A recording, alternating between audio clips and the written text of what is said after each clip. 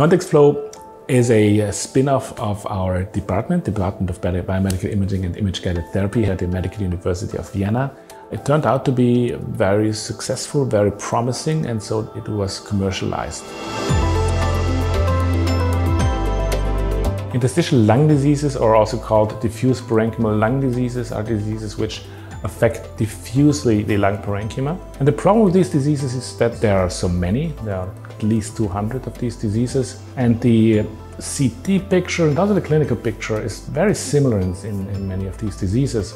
One of the big challenges is that the treatment varies from disease to disease. That's why a very specific diagnosis is of paramount importance. This is why imaging is so important because we nowadays take CT as the central part of the diagnostic pathway.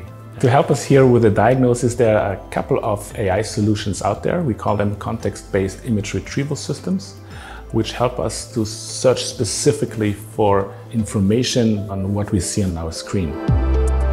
In order to assess the impact of such a software in our clinical work, we performed a study using the ContextFlow software.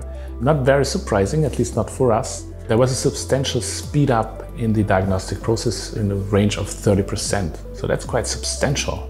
The diagnostic accuracy was also improved, not statistically significant because the patient number was too small, but in the next study we will perform, we will also show the effect on, on the accuracy of the diagnosis. So there's a lot of potential in software like that. The problem with false positives and false negatives is something we are confronted with every single day, so that's something we know.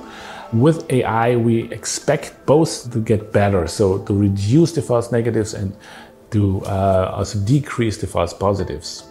I think that uh, context-based image retrieval systems help radiologists in every level of experience. If I want to explain something, I just go to ContextFlow and get the, the, uh, the, information provided by the software. So this tool is indispensable to, to get the information you need for your diagnostic process.